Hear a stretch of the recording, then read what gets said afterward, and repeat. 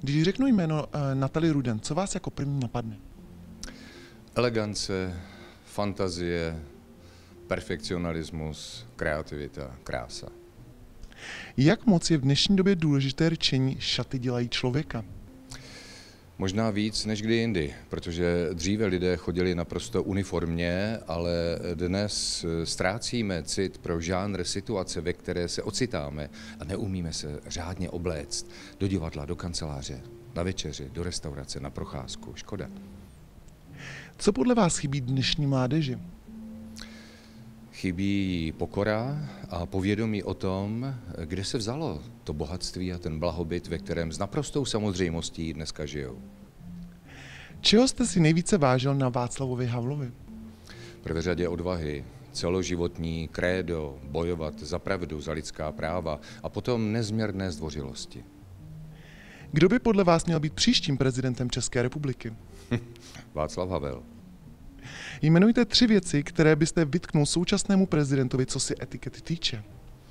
Bez pochyby vulgární vyjadřování, eh, špatná reprezentace úřadu hlavy státu a eh, brutální ohýbání ústavy.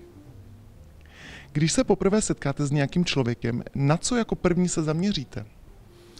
Tak eh, v Brazílii to jsou boty, ale u nás oči.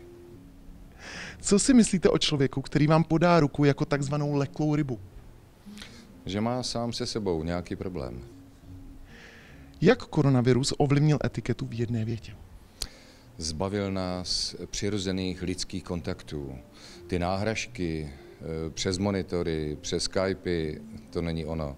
Těším se, až opět se vrátíme k podávání rukou, líbání na přivítanou a objímání se.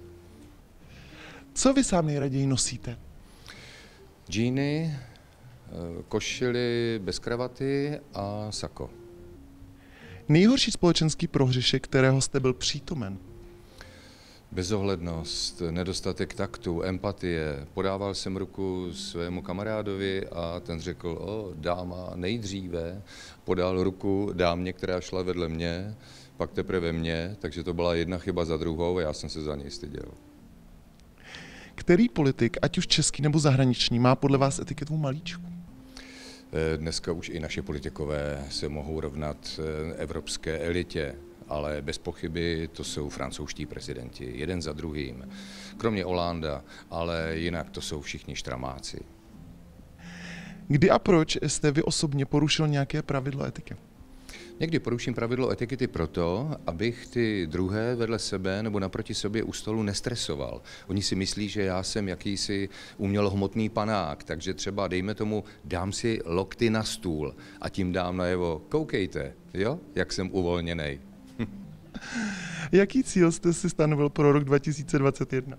Nezbláznit se z toho tady toho všeho. Nezbláznit se z covidu, z médií, z té izolace, ve které žijeme a zachovat si dobrou mysl. Na co byste se zeptal by mě? S kým jste dělala nejzajímavější rozhovor?